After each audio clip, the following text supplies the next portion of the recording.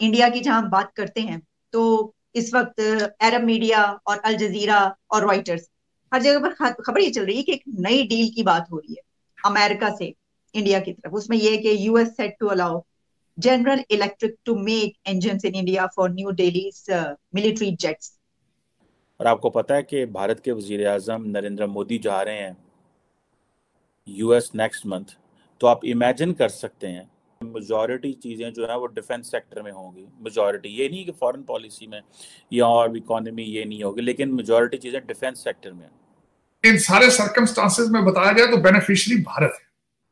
ये हमारी काबिलियत है।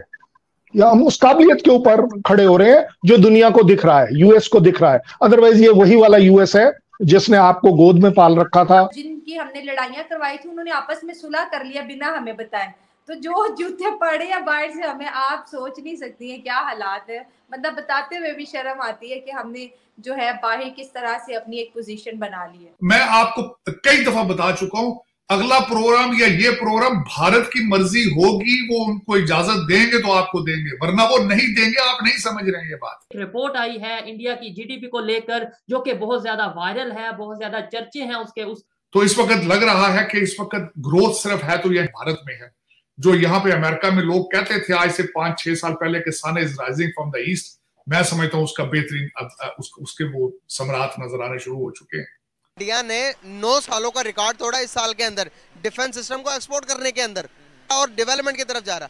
हम क्यों नहीं कर पा रहे? हम एक्सपोर्ट की तरफ़ क्यों नहीं जाते? और मैं अफसोस के साथ कहूँगा फिर लोग माइंड करते हैं आ, आज तक मैंने पिछले तीस चालीस साल में सिर्फ़ वहाँ पाकिस्तान से एक्सपोर्ट होती देखी तो दहशत गर्दी एक्सपोर्ट होती देखी जय हिंद दोस्तों भारत और अमेरिका के बीच एक मेगा डिफेंस डील होने जा रही है।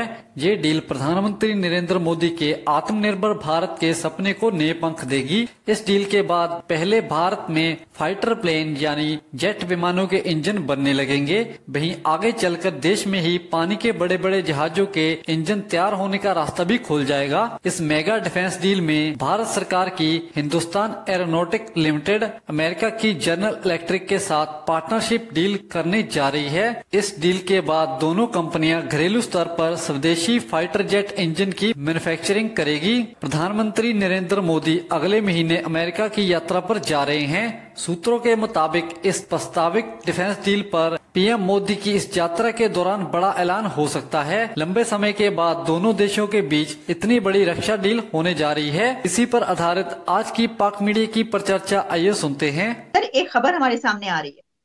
और वो खबर ये है कि इंडिया की जहाँ बात करते हैं तो इस वक्त अरब मीडिया और अल जजीरा और रॉयटर्स हर जगह पर खबर ये चल रही है कि एक नई डील की बात हो रही है अमेरिका से इंडिया की तरफ़। उसमें यह कि US set to allow General Electric to make engine in India for New Delhi military jets तो इसका मतलब है कि सर, एक और बहुत बड़ी डील बहुत बड़ी इन्वेस्टमेंट क्या वहाँ पे होने जा रही है?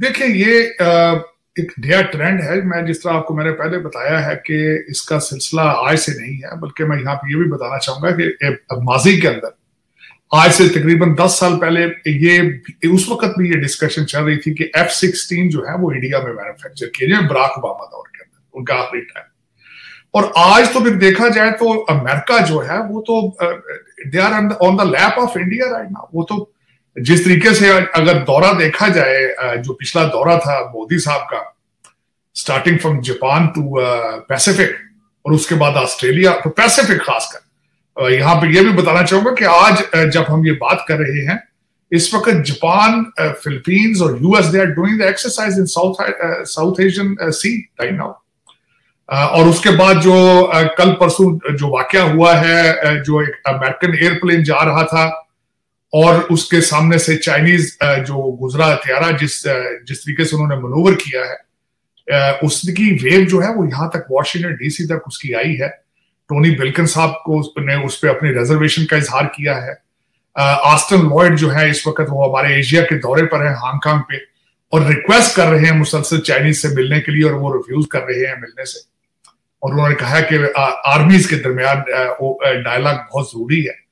लेकिन इन सारे सर्कमस्टांसेस में बताया जाए तो बेनिफिशियरी भारत है। जो सफ़र उनका लिया जाए इंडियन इंस्टीट्यूट ऑफ़ टेक्नोलॉजी से, और फिर उसके बेनिफिशियरी यहाँ पे उनके जो सीईओ हैं हमारे, फिर उसके बाद चाइना अमेरिका की दुश्मनी और उसके बाद अमेरिका की सैंक्शंस टुवर्ड्स चाइना और वहाँ से अपने चाइना से उस पर डिपेंड डिपेंडेंसी को खत्म करने के लिए हर जो मैन्युफैक्चरिंग चीज़ है आइडिया है, उसको वहाँ से उठा के चाइना से भारत में ले जाया जा रहा है। और उसमें, बल्कि मैं आपके देखने वालों को आज सुबह मैं आई सरप्राइज़ मैंने यहाँ पे आईएमएफ की एक रिपोर्ट देखी, जो surprise I was very surprise उसमें उन्होंने बताया है कि अमेरिका की इकॉनमी इस वक्त जो है 1.9 परसेंट पे है यूरोजोन की 0.8 पर है रशिया की 0.7 पर है, और उसके बाद चाइना की 5.2 परसेंट पर है, और भारत की 5.9 परसेंट तो ग्रोथ उनकी ये, ये उनकी प्रोजेक्शन है फॉर द 2023 और 2022 में भारत की जो इकॉनमी थी 6.1 थी. तो अगर अब ये सारी चीज़ें देखें आप और सारा फिर उनका आ, अभी मैं बल्कि मैंने पढ़ा पूरी रिपोर्ट मैंने पढ़ी है आईएमएफ की कि इसकी वजह क्या है उनकी एग्रीकल्चर है नॉर्मल मॉनसून है उनकी प्रोडक्शन है उनकी सर्विसेज़ बेस्ड इकोनॉमी फिर उनकी एक्सपोर्ट्स हैं. ये सारी चीज़ देखें तो इस वक्त लग रहा है कि इस वक्त ग्रोथ सिर्फ़ है तो यह चाइना में है भारत में है। जो यहाँ पे अमेरिका में लोग कहते थे आज से पाँच छह साल पहले कि sun is rising from the east मैं समझता हूँ उसका बेहतरीन उस, उसके वो सम्राट नज़र आने शुरू हो चुके हैं कि वाकई sun is rising from the east from China and India तो चाई साहब अब जिस तरह इसी खबर में मैं ये देख रही थी कि वॉशिंगटन और इंडिया के बीच न्यू दिल्ली के बीच जो है वो जो टाइज हैं उनको स्ट्रेंथन करने की बात की जा रही है। और इसी तरीके से परचेजेस जो हैं वो भी बढ़ रही हैं। और ये जो डील की हमने बात की, वो भी फाइनलाइज हो चुकी है। तो हमारी जो अमेरिका से या वॉशिंगटन से वॉशिंगटन टू इस्लामाबाद अगर हम जब हम बात करते हैं तो उसमें हम आईएमएफ के प्लान से निकल गए एक खबर ये। और जो अभी तक तो हमें आपको पता है, कल तक तो हमारे सामने यही था। हमारे फाइनेंस मिनिस्टर बता रहे थे, हो जाएगा हो जाएगा, कोई मैंने आपको कहा है, आप क्यों फिक्रमंद हो रहे हैं डिफ़ॉल्ट नहीं होगा, वगैरह। अब वो प्लान ही नहीं हो रहा। अच्छा और फिर वो कह रहे हैं कि अब अगले प्लान हम उनसे लेंगे। दर हकीकत वो प्लान से निकल नहीं रहे प्लान एक्सपायर हो रहा है, वो एक लार्जर प्लान लेना चाहते हैं। उनका आइडिया ये है कि जो हमें बहुत ज़्यादा पैसे चाहिए, क्योंकि लंदन में खर्चे बहुत बढ़ गए हैं, बच्चे बच्चे बड़े हो गए हैं। आपने देखा होगा ना, जो हमारी रजीम है, उसमें जवान बंदा तो है नहीं है सारे सत्तर सत्तर साल के लोग हैं, उनकी औलादें जवान है, शादियाँ होनी है, मजीद प्रॉपर्टियाँ खरीदनी है प्रोजेक्ट करने हैं, वो तो आईएमएफ का तो पैकेज लेंगे। कभी मेरा मेरा क्वेश्चन मार्क किया कभी आपने कंट्री दुनिया का कोई कंट्री मुझे मिसाल दें जो छिहत्तर साल से एड पे ग्रांट्स पे चल रहा लोन्स पे चल रहा है। कोई ख्याल ही नहीं कि लोकल कोई चीज़ मैन्युफैक्चर करनी है कि नहीं करनी। कोई ख्याल नहीं है, कोई सोच ही नहीं है। देखिए, मैं बात कर रहे हैं, भारत की बात कर रहे हैं। भारत एप्पल बना रहा है एप्पल बना रहा है। असला बेच रहा है अफ्रीकन कंट्रीज़ को। ताइवान पे पहले उनकी नज़र है कि अगर चाइना ने वहाँ अटैक किया तो सारे ताइवान वाले आके चिप सारे कंप्यूटर के भारत में बनाएँगे। उनकी फार्मास्यूटिकल देख ले पूरी दुनिया का वो हब बन चुके हैं फार्मास्यूटिकल। और मैं अफसोस के साथ कहूँगा फिर लोग माइंड करते हैं आ, आज तक मैंने पिछले तीस चालीस साल में सिर्फ़ वहाँ पाकिस्तान से एक्सपोर्ट होती देखी तो दहशत एक्सपोर्ट होती देखी। जिसकी मैं अपना घर भी जला लिया पैसे तो बना लिए आपने लंदन दुबई में कई उसमें। अफ़गानिस्तान के चक्कर में। अपने बच्चों को मुजाहिदीन बना के जाके प्रॉक्सी बार किसी और की खेली आपने? बड़ी खेली आप और आपके डॉलर सारे इधर आए चाइना में दुबई में या सारे टोरंटो सारा कुछ आपने खरीदा यहाँ पे। लेकिन कोई किसी को कोई होश हो कि लेगेसी क्या चीज़ है? मरने के बाद क्या याद किया जाएगा आपके बारे में?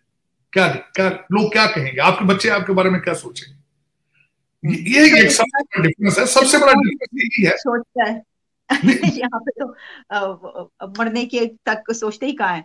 लेकिन साजिद साहब ये जो इस वक्त ये चल रहा है एक तो हमने ये देखा जो हमने बात की कि आईएमएफ के प्लान से हम अब नहीं अब अगला प्लान हम लेंगे पता नहीं अब जब उन्होंने पहला ही नहीं दिया तो अगला जो हम लेंगे वो देंगे या नहीं देंगे ये भी तो मसला है। और नहीं देंगे और दूसरा ये मैं आपको कई दफ़ा बता चुका हूँ अगला प्रोग्राम या ये प्रोग्राम भारत की मर्ज़ी होगी वो उनको इजाज़त देंगे तो आपको देंगे वरना वो नहीं देंगे आप नहीं समझ रहे हैं ये बात। मैं बड़ा वसूख के साथ ये कह रहा हूँ मैं वॉशिंगटन डीसी में बैठा हूँ यहाँ पे। मैं उन लोगों के नाम नहीं ले सकता जिनके जो वहाँ पे आईएमएफ में लोग आपके बारे में बातें अच्छी नहीं करते। मैं वर्ल्ड बैंक में और आईएफ में, में मेरे I have many friends they are working there Bharat का दिल होगा आपको आईएमएफ का पैकेज दिया जाए किन शराय पे दिया जाएगा तब दिया जाएगा वरना नहीं दिया इंडिया के डिफेंस सिस्टम के बारे में मैं आपको बताना चाहूँगा। नौ साल पिछले नौ साल के रिकॉर्ड तोड़ दिया उनकी तेईस परसेंट ज़्यादा उन्होंने डिफेंस के सामान बाहर के मुल्कों को बेचा, सेल किया एक्सपोर्ट किया। क्या कहना चाहेंगे? हमारे मुल्क के इधर डिफेंस की अगर बात की जाए, हमारे मुल्क के अगर हथियारों की बात की जाए, सर, हम चाइना से इम्पोर्ट करते हैं। हम कोई चीज़ एक्सपोर्ट नहीं करते। क्या वजूहत है कि हम इंडिया से बहुत ज़्यादा पीछे रह गए हर मामले के अंदर? अगर आप तरक्की में देखो, अगर आप एजुकेशन में देखो, अगर आप डेवलपमेंट में देखो, हर चीज़ से हम पीछे हैं। हम आगे कैसे जा सकते हैं? अपने मुल्क को तरक्की की तरफ़ कैसे लेके जा सकते हैं? बिल्कुल, ये आपने बड़ी अच्छी बात की वाकई इंडिया की जो आप दोस्त हैं, वो हमसे ज़्यादा है। इंडिया की एयर बेस हमसे ज़्यादा अच्छी है। इंडिया का डिफेंस हमसे ज़्यादा मज़बूत है। ये अल्लाह और अल्लाह के रसूल और मोहम्मद वाले मोहम्मद की ताकत है और हमारा ईमान का जज्बा है, जो हमें उनके सामने खड़ा रखता है। लेकिन अगर हकीकत को देखा जाए तो उनकी जो है, वो तैयारे, आप दोजें, मिल्ट्री असला अच्छी गन्स वो हमसे बेहतर हैं।